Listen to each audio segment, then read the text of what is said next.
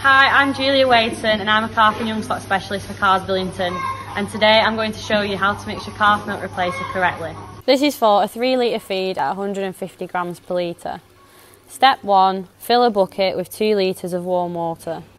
Step 2. Take the temperature of the water, ensuring that it is around 40 degrees C. For step 3, you will require a set of scales, a jug, and a scoop. Step 4. Add the jug to the scales, set it to zero, and then add the required amount of powder. For a 3 litre feed, we require 450 grams of milk replacer powder.